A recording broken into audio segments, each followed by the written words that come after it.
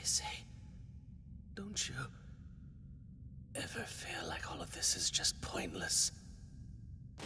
Living and dying, creating and consuming. There's no value in it. There's no reason for it. None of it's worth the trouble.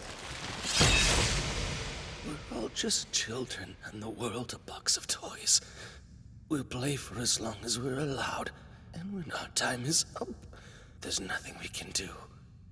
The box is closed to us, never to be opened again.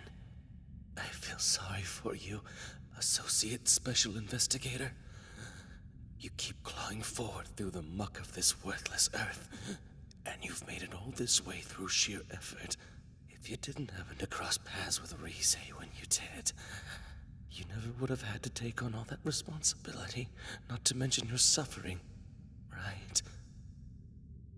Furuta.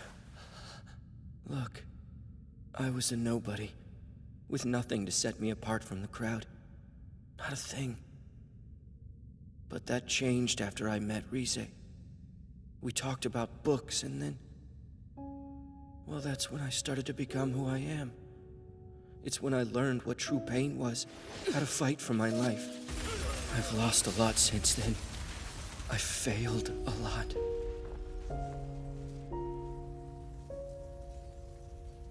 But I also found a place for myself.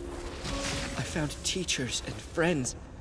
I found allies, comrades. I found love. And after all the mistakes I've made, after being hurt as badly as I have, I could never believe that it was all for nothing.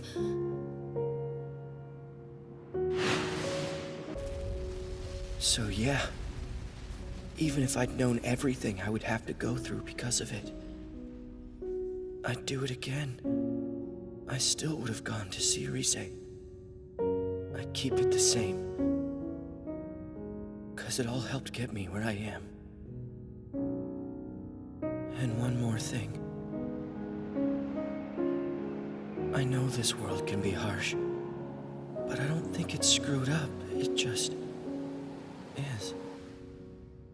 And even supposing that someday everything does go down the drain, I'll keep on struggling. Just like I did today. You're one of the only people I've come across I just don't get. Oh well. I'll be dead in a moment anyway. How fucked is that? It's seriously fucked. Just like everything else in this godforsaken world. Tell me, investigator. If I said that all I really wanted was to live a normal life, you would laugh, wouldn't you?